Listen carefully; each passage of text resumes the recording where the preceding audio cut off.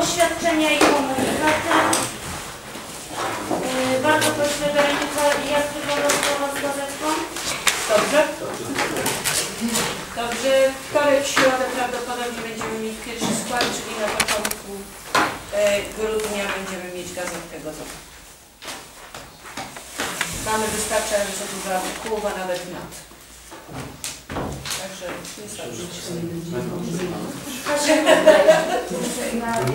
chciałabym Państwa poinformować i ewentualnie zaprosić na Dzień Seniora, który będzie się e, teraz najbliższy czwartek 29 listopada e, w domu działkowca przy ulicy Francesco Nuno od 17 do 19, być może do 20. E, I ewentualnie jeśli ktoś, ktoś by z Państwa radnych miał ochotę tam być, uczestniczyć e, reprezentować Radę, to. Ja mam... Pan Mieczysław... A nie, proszę Pani Marię, Pani Maria. To znaczy ja nie na ten temat. A to ja mam pytanie. To proszę. Pan poseł. I ja chciałbym po prostu, do mnie dzwoniła Pani, która nie zostawiała mi swoich danych, tylko powiedziała, że jest z Dąbia i tu ona dobrze jest znana ze względu na to, że uczestniczyła w tych imprezach, a ostatnio ze względu na to, że coś się u nich zmieniło, tam nie wiem czy siedziba, czy y, prezes tego ich koła, prosiła o to, że jeżeli będzie Dzień Seniora, żeby zaproszenia do nich dotarły. Ja tylko tyle mogę na forum. Ja tam chodziłam do nich zawsze, bo oni mieli y, siedzibę y, w spółdzielni mieszkaniowej Wspólnota. Tak. No tylko przez tą wspólnotę miałam kontakt. To trzeba może się dowiedzieć, żeby, Się mnie. żeby nawet też Przyszłe są zaproszenia? Są zaproszenia. Pani Marysia? Ja mam pytanie do Pani, Pani Małgorzato. Y, Przyszło pismo do Rady dotyczące ZEO, prawda? Dotyczące y, y, sytuacji takiej, że mamy podjąć decyzję, czy chcemy realizować zadania remontowe placówek oświatowych w czwartym kwartale. Y, Jeżeli tak, to obciążą one budżet naszego przyszłego roku i ja przekazałam mailową informację, że Komisja Edukacji y, uważa, że nie, że nie powinniśmy ich realizować, bo obliczyliśmy, że to jest ponad 100 tysięcy złotych. Y, Sama, samo przedszkole 79 to jest 61 tysięcy ta uchwała, którą zmienialiśmy ostatnio z izolacji pionowej na remont elewacji. Y, No i w sytuacji, kiedy mamy mniejsze środki na rok 2013, y, no te, jeżeli nam jeszcze zabiorą ponad 100 tysięcy złotych, to, no to uważamy, że, że nie byłoby to w porządku. Tym bardziej, że dyrektorzy tych placówek y, wiedzieli o tym, że te środki mogą przepaść, a pomimo to wystąpili do Rady i myśmy zgodnie z ich prośbą y, podjęli uchwałę. Mam, y, uchwały. I mam pytanie, czy Pani powiadomiła o tym ZEO, czy zarząd ma inną koncepcję? Mm, Tak samo, tak, takie samo mamy zdanie i e, jeszcze zadłużać. No bo tutaj jest y, to zagrożenie, to jest pismo z 15 listopada, no dzisiaj wprawdzie 23, ale y, proszę o odpowiedź mailową, y, ponieważ jeżeli nie dostaną, i to pilną odpowiedź, bo jeżeli nie dostaną y, naszej odpowiedzi, to będzie to zgoda na realizację w bieżącym roku. Także bardzo proszę o, o wręcz natychmiastowe wysłanie tej informacji. Znaczy, po opinii, że opinia komisji już też. Ja akurat rozmawiałem z panią Kryszką. Akurat zadzwoniłem. I, po prostu ja poinformowałem nie telefonicznie, że, że decyzja komisji, naszej komisji jest tutaj y, na nie. I, generalnie będzie to potwierdzone pismem. No to wystarczy mailem, no Ta tutaj... wiadomość została telefoniczna y, przekazana. Wystarczy mailem, ja dam informację 16. prawda? Łukasz Dardziński. Ja mam informację, że do Rady Trybunału projekt uchwały Rady Miasta Krakowa e, w sprawie programu rozwoju sportu w Krakowie na lata 2013-2015. Jest to dosyć obszerny dokument. Jeśli Państwo by chcieli zainteresować, to jasno, że te dokumenty nie są w Radzie, więc e, jest to w PDF, no jest to. Ja mam ładowanie, rzeczywiście. No jest tam dużo ogólników, raczej nic w naszej listy nie jest napisane, ponieważ to tak jak mówię, ogólnikowy bardziej, no ale można, można też czytać, jeśli komuś to. Pani- Osoba ogólniki. Pani Elżbieta, później Pani Małgosia. Ja chcę zapytać, y, o to, czy będą jakieś kroki podejmowane w z, z remontem chodników i z budową i przebudową, ponieważ y, zgodnie z tym, co się dowiedziałam, prawda, to y, my mamy 700 tysięcy na inwestycje przewidziane, a ponieważ na remonty tak wynikał z rozmowy z panem Dygorzem, który to wyjaśniał, że my mamy na ogólną kwotę zresztą 202 miliony, mamy 35% prawda, na inwestycje, to to jest kwota 700 tysięcy, a 700 tysięcy to 880 tam y, 8 groszami mamy na y, budowę i remont, znaczy na remonty chodników, to się tak nazywa. Ale z tego wynika, że 700 tysięcy to jest na inwestycje, a 120 tysięcy z tego, czy tam 150 zostanie na remonty chodników. Więc wydaje mi się, te 17 dane, które my tam mamy, to raczej y, słabo to widzę, y, a nawet w ogóle nie widzę. Natomiast, y, natomiast jest pytanie, jeszcze drugie, no bo nie wiem, czy się da przenieść właśnie z tego paragrafu inwestycji te pieniążki w budżecie miasta przyszłorocznym na remonty, bo podobno jest to życzenie prezydenta, żeby taki był udział inwestycji w tych pracach naszych dzielnic. Natomiast e, jest jeszcze drugi temat związany, mianowicie taki, że zaplanowane na jeden rok e,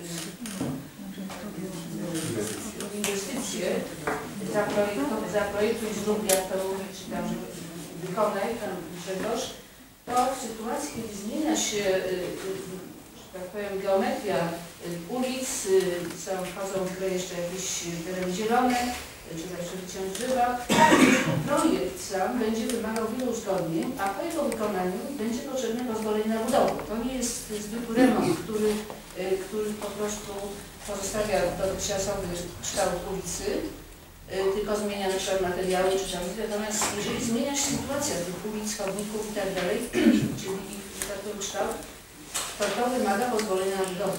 Nie da się tego zrobić w jednym roku.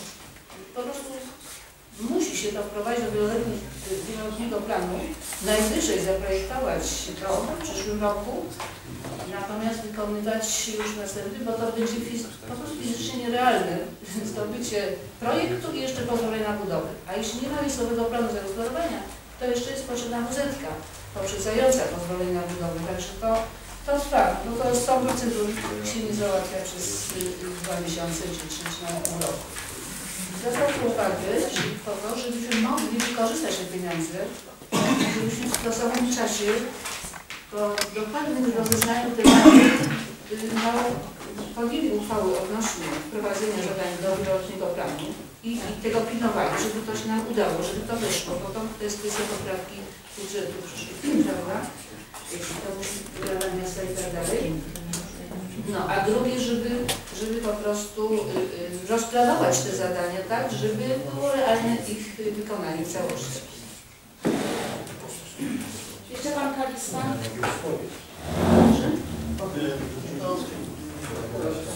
Nawiązując do wypowiedzi pani Edyty, sprawa taka. Niepokoiło mnie zdanie pani Kura, która która powiedziała się do pani Edyty, że my mamy tylko pieniądze na inwestycje. Czyli nie mamy żadnych pieniędzy na chodniki. No i byłoby bardzo smutno, gdyby to się okazało prawdą. Podobno są jakieś być może, no, może się okazać tak, że to się da załatwić jakąś uchwałą, prawda, jeszcze w tym roku, ale nam została tylko jedna sesja, prawda? W związku z czym warto by to dokładnie sprawdzić i taki projekt uchwały przygotować, który by nam otworzył te, to przeniesienie środków właśnie na pewno planowanie. Trzeba to po prostu wyjaśnić. Podobno jakieś ustalenia są na spotkanie, na spotkanie przewodniczących dzielnic. Nie mamy żadnej informacji takiego spotkania. Nie wiemy jak to się robi, ale tak jak gdzieś tam jedna sesja, trzeba to załatwić. Tak samo zadania do wieloletniego planu finansowego i wieloletniego planu inwestycyjnego na przyszły rok. To trzeba wszystko to doprecyzować i by się do, do następnej sesji bardzo poważnie zająć. Pani Małgorzata też chce w tym temacie? Tak, w tym temacie też y, no, muszę powiedzieć, że też te sprawy bardzo mnie niepokoją. Y, I y, sobie akurat y, protokoły ze spotkań przewodniczących Rad Dzielnic. Chciałam tutaj prosić o wyjaśnienia, bo wiadomo, że w tych protokołach wszystko nie jest zamieszczone.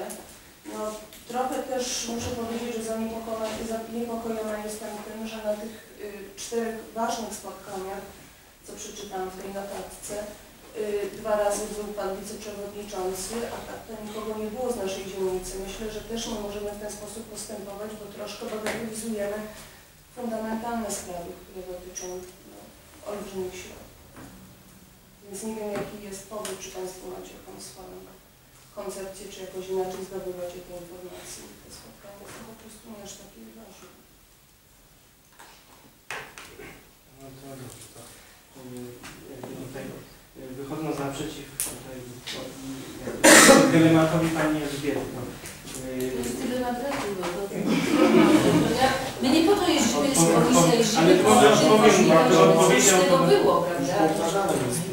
znaczy, znaczy ja mogę odpowiedzieć, czy nie mogę? Tak. Mogę, tak? To Bardzo proszę wszystkich Państwa o taką lekką ciszę i posłuchanie. Y, Czego się dowiedziałem i nie tylko na spotkaniu tam z przewodniczącymi, ale również próbowałem się dowiedzieć y, y, jakby, jakby no, we wszystkich jednostkach, które, które jak, jak przejmują nasze pieniądze i, je w jaki sposób wydają, wydatkują. Pierwsza sprawa, my dysponujemy budżetem 2 miliony z hakiem, prawie 2 miliony 100 zł. I tyczy się to tego właśnie budżetu, to, to roz- rozdysponowanie tej kwoty pieniędzy, czyli y, na inwestycje z 2 milionów prawie 100 zł musimy wydać 35%, co daje kwotę 775 tysięcy z czymś. prawda? Wydaje mi się 600 zł. Y, Jeżeli chodzi o y, zadania inwestycyjne, które będziemy, mamy zaprogramowane z Komisji Sportu 11 800, z Komisji Spraw Społecznych 15 tysięcy, z Komisji Ogródkowej 41 160. I fajnie byłoby, żeby małą architekturę, tak jak to było w poprzednim roku, znaczy w tym roku y, realizacji, y, dopilnować, żeby tak jak było na Dąbiu, y, były postawione ławki w ilości większej jak za 3,5 tysiąca złotych, czyli ta ławka kosztuje 300 złotych, ta wandalowa y, i, i, i żeby jednak tych ławek y, dopilnować w jednym rzędzie, żeby było y, wykonanie było razem z montażem za ponad 3- 3500 zł. Wtedy będzie to zadanie inwestycyjne. Będzie to, rozumiecie Państwo czy nie ma? Nie. Są zadania inwestycyjne i zadania bieżące, prawda? O tych Tak? A, no, no, no, to... Nie, no, Mogę Panu jeszcze raz powiedzieć. Żeby jedno, Wyjąt, drodze wyjątki. Y, Ławki kosztują 250 zł około, tak, brutto. Y, Jeżeli chodzi o, żeby, żeby zadanie było, y, z małą, związane z małą architekturą, czyli z ławkami, koszami, bądź jakimiś innymi rzeczami w ciągu jakby y, ja- jakiejś alejki, y, były brane pod pod, pod zadania inwestycyjne, tak? Tak, tak, tak, tak. Y, To za, y, wykonanie zadania musi przekraczać kwotę 2000. Czyli po prostu jedna firma musi wykonać y, ustawienie ławek, montaż ławek razem z wykonaniem za, trzy- za powyżej 3,5 tysiąca i wtedy to zadanie y, w Bezykicie zostanie zakwalifikowane na paragraf 6050, będzie sklasyfikowane jako inwestycja. Muszę być jeszcze w szeregu? Jeszcze będzie, To przecież powiedziałem. Tak, mamy jakiś porządek w tym panie Jarku. Tak? No to, A nie, że nas stawiają. Nie jeżeli chodzi o dalszą część, y, wody, y, groby, czyli, czyli y, jak, jak to zadanie się nazywa? Nagrobków y, na, na, na, na, na cmentarzu rakowickim WP jest oznakowane jako zadanie inwestycyjne. 13,5 tysiąca przy zakwalifikowaliśmy na to, będziemy mieli po prostu to do, do całej kwoty 7 tysięcy y, doliczone. Ekspertyza, która jest tutaj na ulicę Lubicką, również jest zadaniem inwestycyjnym, a przede wszystkim wszystkie zadania, prawie wszystkie zadania w Komisji Edukacyjnej, bo od, od, od pozycji numer 3 do pozycji numer 9 są zadaniami klasyfikowane jako zadania inwestycyjne i to łączna kwota 283 Czyli y, w tym momencie po sprawdzeniu y, w jednostkach mamy kwotę 424 600. Musimy sobie teraz po prostu wykonać jeszcze na 770 3650, yy, czyli, czyli, po prostu no, ta różnica jeszcze jest yy, konieczna, yy, yy, obowiązkowo na zadania inwestycji. To jeszcze, Tak, może taka, sytuacja, żeby na przykład y, któreś z tych zadań, które się nazywają przekwalifikować na inwestycje, na przykład ta ulica Bandowskiego. Proszę Pani, jeszcze, jeszcze nie jest uchwalony projekt budżetu miasta na 2013 rok, nie możemy nic będzie droższe, bo wtedy będzie droższe. Jak dlaczego to będzie? Będzie, inwestycja. To jest Gdzie się inaczej nazywa? To nie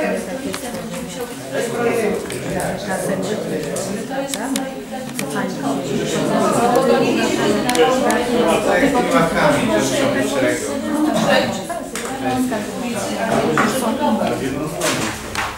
To znaczy, jeżeli chodzi o prze, prze, przekla- przelanie pieniędzy na zadania, yy, na zadania te, te remo- remonty bieżące chodników, naprawy chodników, yy, to dopiero możemy wykonać, jeżeli zostanie uchwalony projekt budżetu na 2013 rok.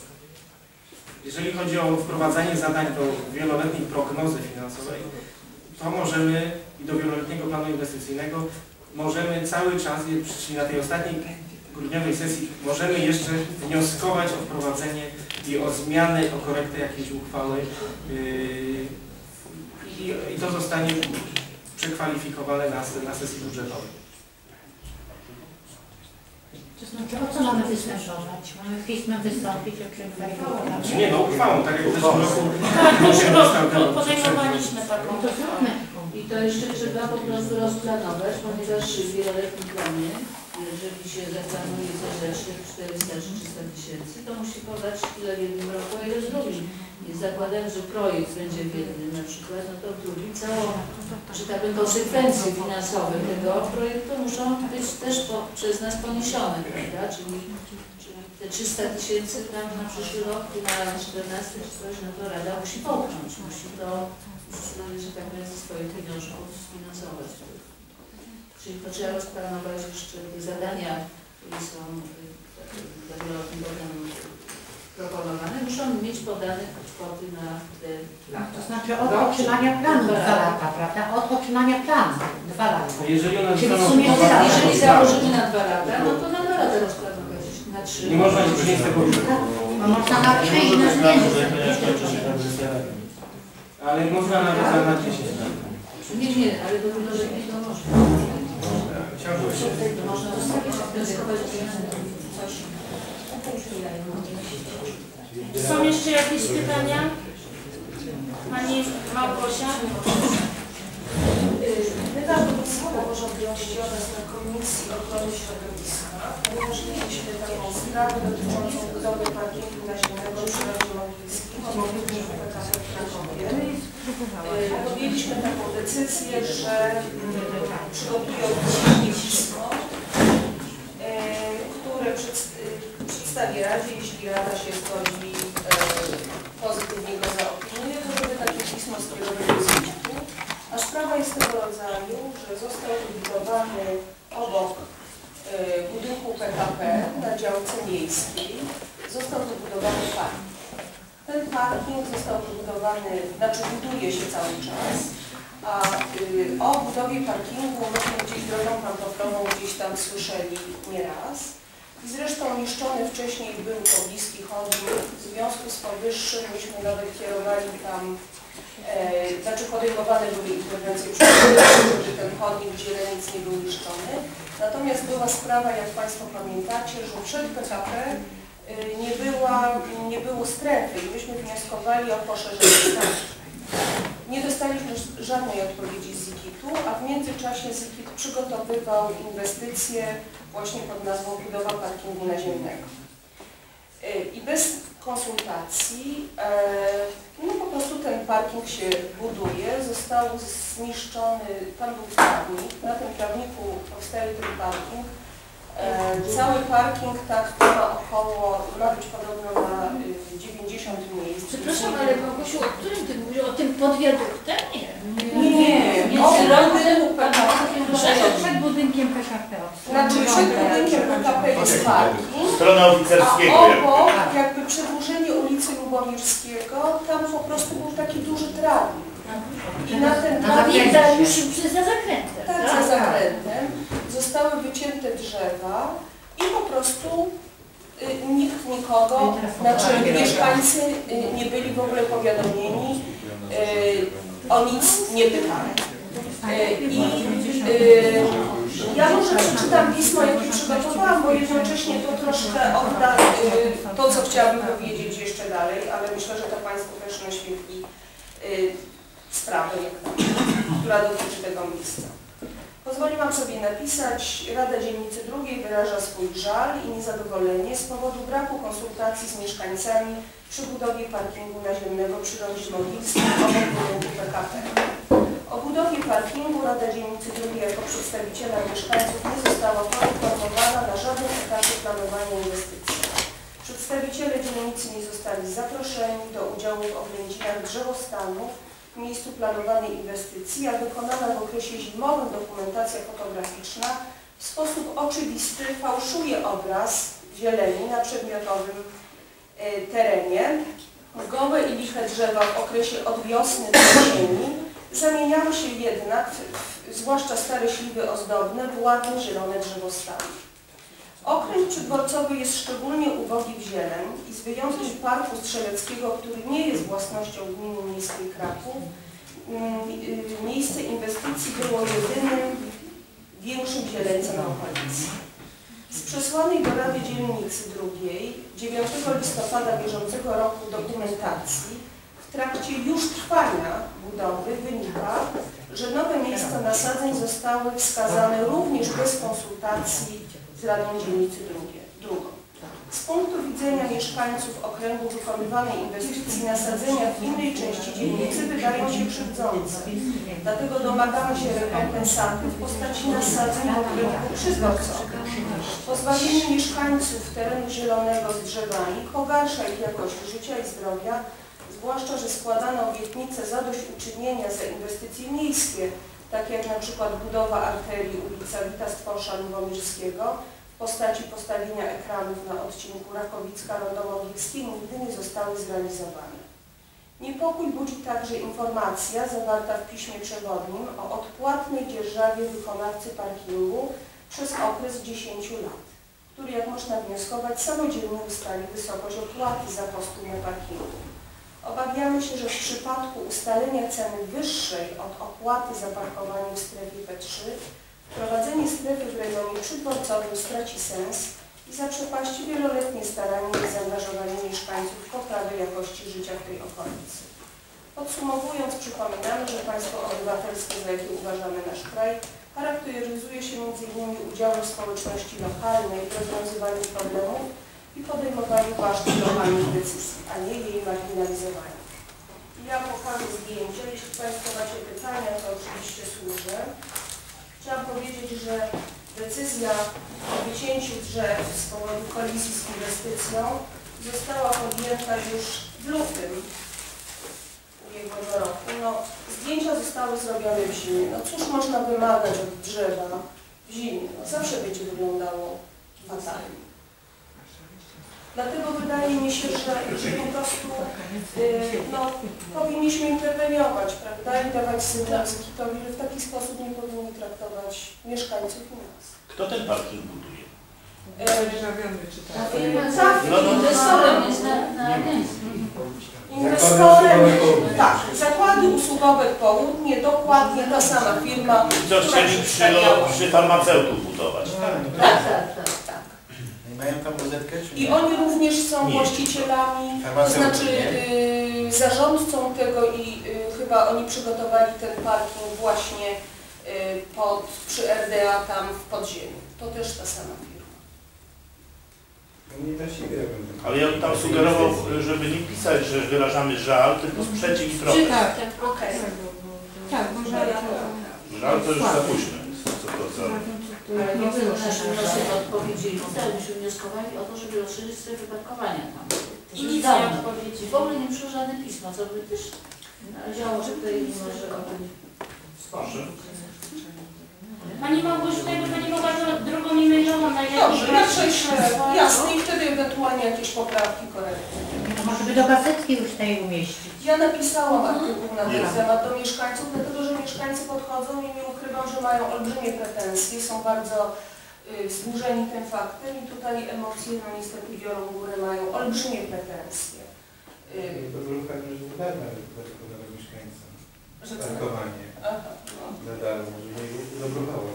E, Nieoficjalnie usłyszałam, że to jest pewna konsekwencja obietnic złożonych y, operze. Tak jest. Y, Ja Pani Elżbieta mam jeszcze, y, ja już wiedziałam o tym wcześniej, tylko mamy akurat tutaj na piśmie. Y, Jeżeli chodzi o to py- zapytanie w sprawie tych środków, podziału środków, to co ta, dlaczego nasza dzielnica ma mniej.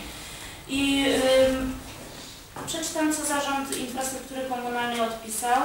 Odnośnie korektu, korekty podziału środków na 2013 rok na zadania powierzone dzielnicy, prace remontowe dróg, chodników i oświetlenia informuje, że do formuły przeliczającej podział środków finansowych wkradł się błąd, który został wykryty zbyt późno. Wynikiem tego jest wysłane do Państwa pismo numer ZIK i łamane przez S, łamane przez, tak jak w tekście tutaj mam, z dnia 3 y, października, które koryguje zaistniałe w trakcie pierwotnych przeliczeń błędy. I my z Grześkiem sprawdzaliśmy to i faktycznie y, jakbyśmy brali tą listę z roku, który był z, kwotą na ten rok, co mieliśmy na 2012 i od tych y, kwot y, na każdą dzielnicę odejmiemy 15%, to wychodzi dokładnie to, 18 milionów. tak. to co y, było w tym ostatnim, w tej ostatniej tak? 888 tysięcy to jest to 600. Czyli to, co dostaliśmy tak w międzyczasie, to co oni później nam wysłali kolejne, to, to, to w ogóle w tej pierwszej wersji nie brać pod uwagę, bo im się po prostu jakiś błąd Ale zrobił. że ten ciekawy, gdzie ten błąd kradli, bo tego nie wyjaśnili, bo, bo ten błąd w wyliczeniach poszczególnych dzielnic chyba, ponieważ suma została niezmieniona.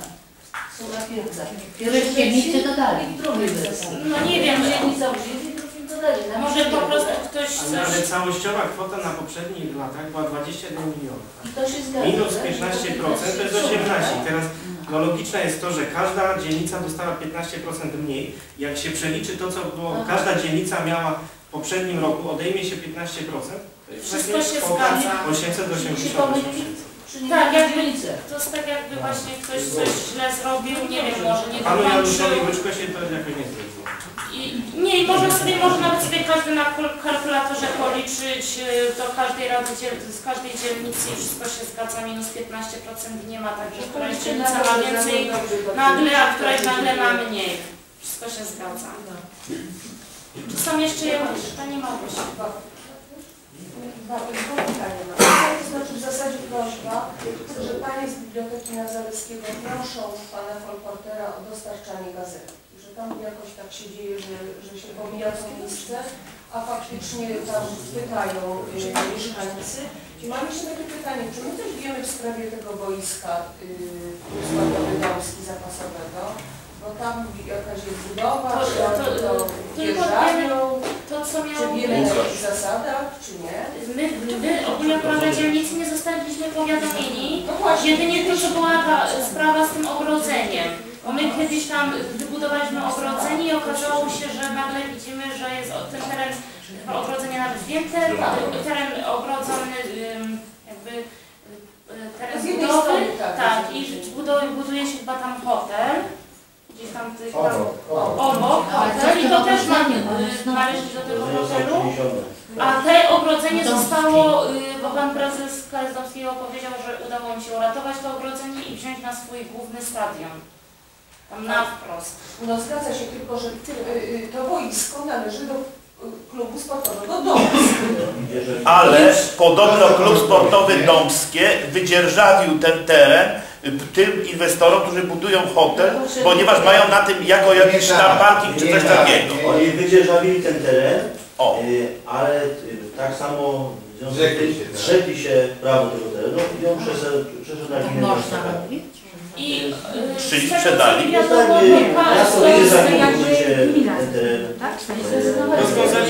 Rozwiązali najszybciej chyba umowy.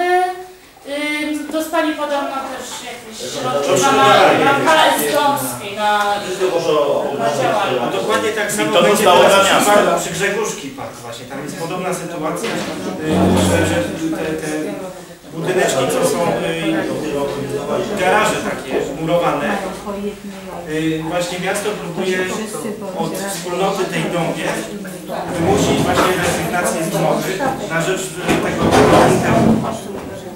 Także no nie wiadomo, czy oni się zgodzą, czy za to tam no, odszkodowanie dostaną. Na rzecz kogo? Czy Na rzecz? Grzegórzki Park. Czekajcie, tak? Proszę Państwa, w takim razie zamykam 23. sesję Rady Dzielnicy. Bardzo dziękuję.